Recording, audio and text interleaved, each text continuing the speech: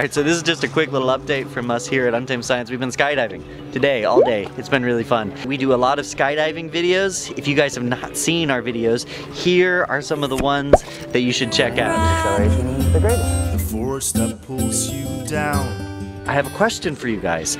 Do you have any questions about skydiving that we could answer through the sport that we're doing here? If you do, put them in the comment section below. Anything, anything at all. Like, why is it the base jumping rigs open faster than skydiving rigs? Or whatever. I don't know what you guys know and what you don't know, so that's why you gotta put it down there. And we'll actually come out here and jump and, and uh, tell the story of it uh, sometime. And of course, that's what we've been doing today is training for future videos because you can't just jump out of a plane with a camera on your head if you haven't practiced. It's kind of a dangerous sport. I'm just gonna show you some of the video from today because it was kind of fun. Uh, before I do that, Jonas, you promised me you're gonna show me video of the Vasa Stay tuned for Jonas's footage. You're gonna be in for a treat on that one. okay. All right, we'll see you guys next time.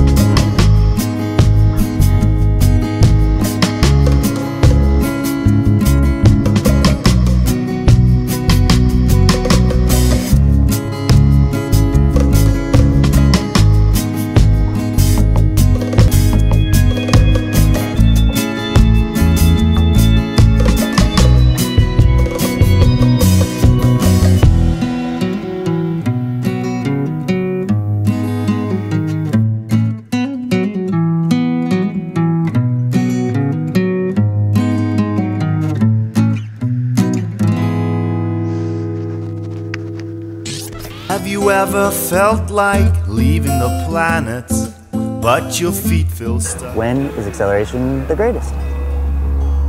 As I head up, I want to remind you that acceleration in physics